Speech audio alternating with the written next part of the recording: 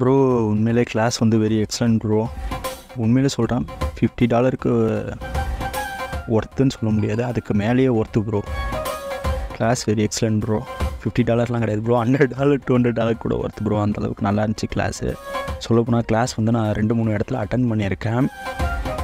Five thousand five தௌசண்ட்லாம் pay பண்ணிவிட்டு but வந்து எனக்கு கிளாஸ் தெரியும். ஒரு மூணாவது நாள் நாலாவது நாளே வந்து ஒன்றும் உங்கள் நாலேஜ் இப்போ சொல்லலை உங்களுக்கு ஸ்டெஃப் இல்லாத அளவுக்கு அப்படின்ட்டு இருக்கோம் பட் உங்கள் கிளாஸில் வந்து பேட்டர்ன் எடுக்கிறீங்க கேண்டில் சைக்காலஜி பற்றி சொல்கிறீங்க அதுவும் வந்து புரிகிற வரைக்கும் வந்து திருப்பி திருப்பி திருப்பி ரிப்பீட் பண்ணி புரிஞ்சுக்கிட்டதுக்கப்புறம் தான் கிளாஸே வந்து இது இது பண்ணுறீங்க க்ளோஸ் பண்ணுறீங்க அது இல்லாமல் வேறு லெவல் ப்ரோ ட்ரிக்ஸ்லாம் நிறைய சொல்கிறீங்க ப்ரோ அதுதான் ப்ரோ விஷயமே.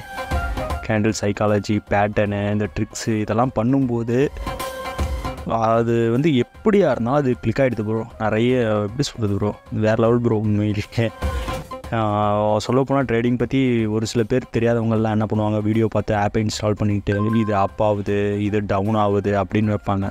கடைசி வரைக்குமே வந்து அதில் ஒன்றுமே சக்ஸஸ் இருக்காது. இது மாதிரி நல்ல ஒரு ஃபிஃப்டி டாலர்ஸ் ஒன்றும் பிரச்சனை இல்லை. ஃபிஃப்டி டாலர்ஸ் போட்டு நல்லா லேர்ன் பண்ணிட்டு பண்ணால் இது இன்றைக்கி வந்து ஃபிஃப்டி டாலருங்கிறது பேஸ் மாதிரி தான். அதுக்கப்புறம் இன்னும் நல்ல இம்ப்ரூவ்மெண்ட்ஸ் கண்டிப்பாக நான் உண்மையிலே ஒர்த்து ப்ரோ எப்படி சொல்கிறது எனக்கு ஃபஸ்ட்டு எடுத்தோன்னே நீங்கள் கிடைக்கல.